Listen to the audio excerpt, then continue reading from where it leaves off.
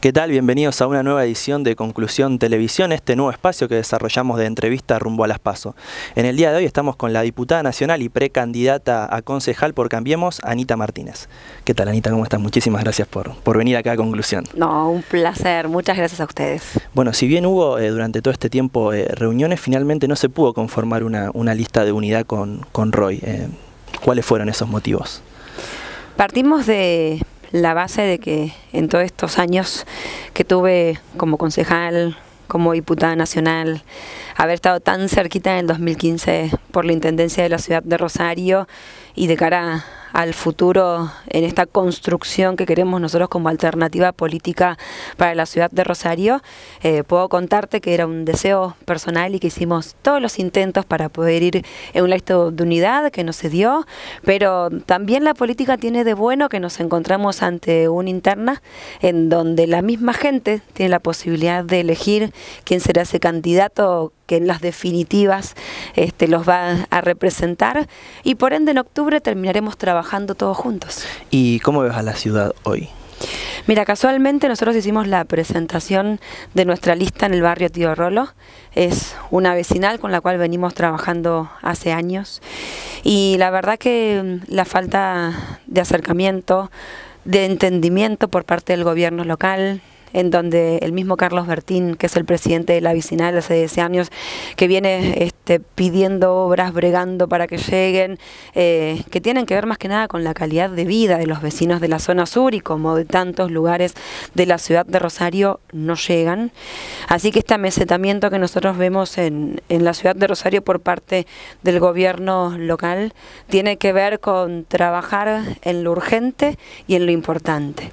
y diferenciarnos en el hacer y no en el decir. Y el reclamo constante de la gente, en donde los problemas son prácticamente los mismos de las últimas dos décadas, es llamativo y tenemos que estar ahí. para ser parte de la solución. ¿Qué, ¿Qué, diferencia notas de cuando te fuiste, cuando dejaste el consejo, a hoy en la ciudad, más que nada? Primero que nunca me fui. Siempre estuve en la ciudad de Rosario, vivo en la ciudad de Rosario mis hijos están aquí, mi marido tiene su negocio aquí y por ende esta posibilidad que tuve de ir al Congreso Nacional fue una decisión que se tomó en equipo sobre todo después de haber quedado tan cerquita ¿no? la Intendencia de la ciudad de Rosario y todo el equipo que tiene que ver con nuestro presidente me convocó para poder trabajar, en este caso por los santafesinos, cosa que hago y hacemos con toda la estructura y con todo este equipo este, con muchísima responsabilidad. Y el hecho de seguir estando en la ciudad y hoy por hoy tener la posibilidad de venir al Consejo de la ciudad de Rosario, eh, más allá de las recorridas y más allá que hace 40 años que vivo acá, eh, vemos que los problemas se han incrementado, los reclamos se han agudizado y estando en contacto, por ejemplo, siempre con Renata Aguilotti, que es nuestra número 3 en la lista de concejales, que ya ocupó este, el lugar en el Consejo cuando yo fui a la Cámara de Diputados, siguen trabajando muchísimo desde la Comisión de Obras Públicas, desde la Comisión de Salud y cada una de las comisiones que tienen que ver inclusive con la asignación de presupuesto, ¿no? desde el Consejo para esas obras, en donde vemos que no comprenden el mensaje por parte del Frente Progresista Cívico y Social. Las demandas siguen siendo desde lo que tiene que ver con el barrido y limpieza, eh, el cambio de las luminarias, el pavimento definitivo, obras que tienen que ver obviamente con los servicios básicos y parecería que todo se está resolviendo ahora. No queremos más un gobierno que solamente actúe y efectivice su gestión cuando están en campañas. Queremos que esto sea correlativo al tiempo y a las necesidades. Y hoy por hoy, de la mano del Gobierno Nacional, trabajando con desarrollo social y con la gente del ANSES, la situación que tenemos es crítica en cuanto a la desidia que viven los habitantes de la provincia de Santa Fe,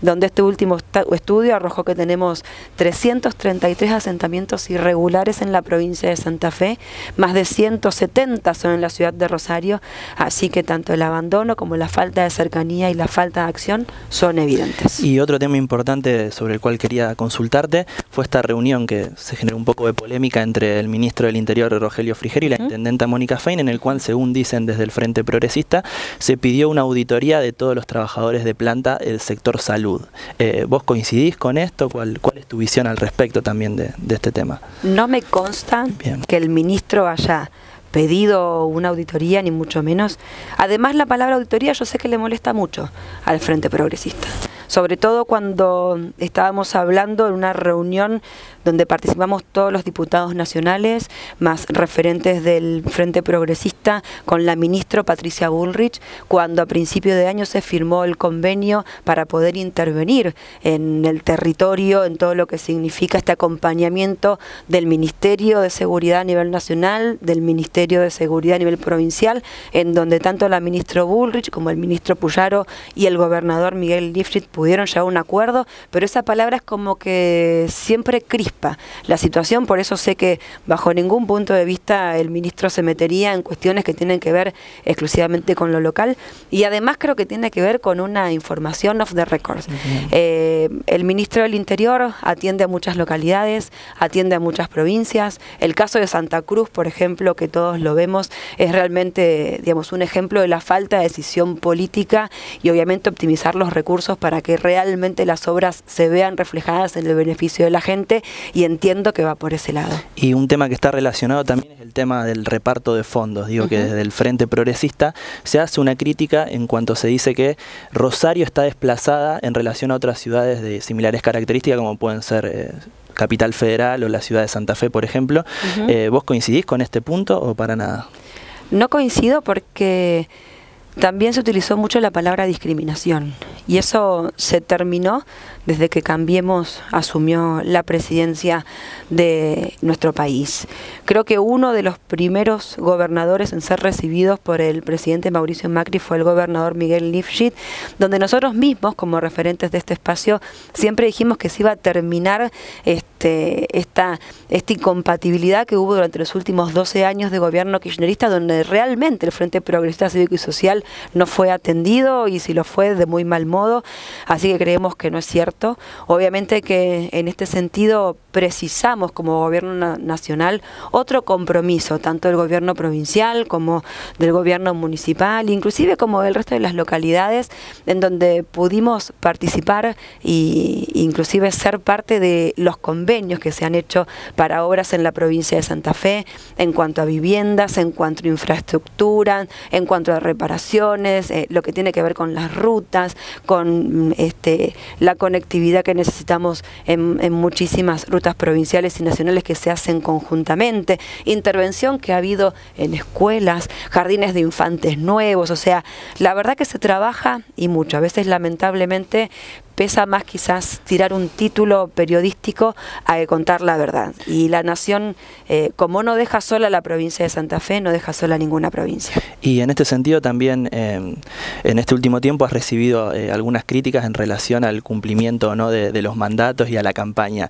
Digo, ¿lo tomás como parte de un proceso eh, electoral o te molestan esos cuestionamientos? Entiendo que es parte del proceso electoral. Entiendo que quizás algunos partidos o, distintos referentes ven la posibilidad de generar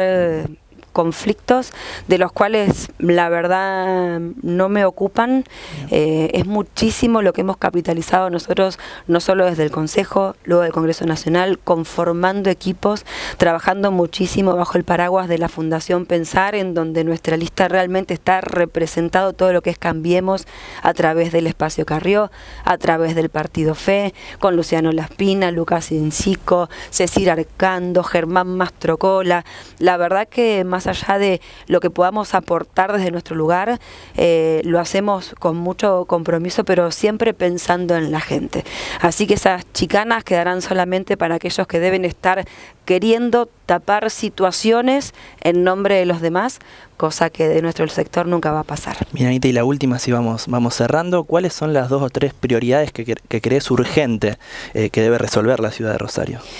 Primero es el tema de la cuestión de la inseguridad y esta penetración que tuvimos en nuestro territorio, eh, tanto en los barrios como en, las, eh, en los distintos sectores que tienen que ver hasta con las escuelas y con las ONGs. estuvimos inclusive con la hermana Jordana hace poco donde nos contaba que la penetración del narcotráfico sigue corrompiendo no solo a nuestros jóvenes, sino también a las familias. Eh, tuvimos una una injerencia muy importante y sobre todo cuando hablaba de discriminación me estaba acordando de algo que pudimos lograr de la mano del ministro de Justicia de la Nación, que por primera vez el ministro Germán Garabano estuvo presente en los años que tenemos de democracia en los tribunales eh, federales de la ciudad de Rosario,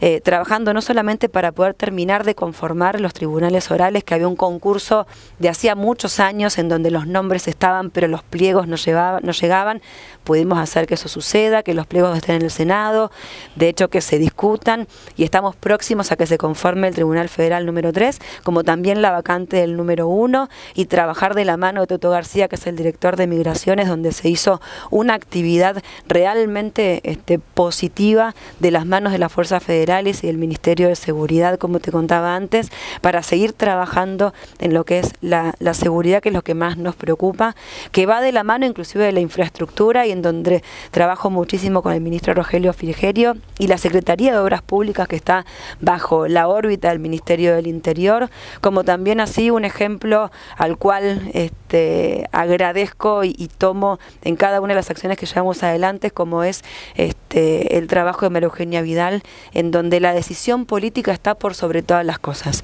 Ir en contra de las mafias, ir en contra de la corrupción es lo que vamos a hacer desde la ciudad de Rosario, obviamente eh, valorando la, relación que tenemos con cada uno de los ministros. Y como lo venimos haciendo tanto con el Ministerio de Trabajo de la mano de Jorge Triaca, eh, también como lo es el Ministerio de Desarrollo Social con la ministra Carolina Stanley, donde no dejamos que ningún tema quede sin resolver, porque hoy la realidad nos atraviesa, Sabemos que vamos en un buen camino, nos falta muchísimo, pero insisto,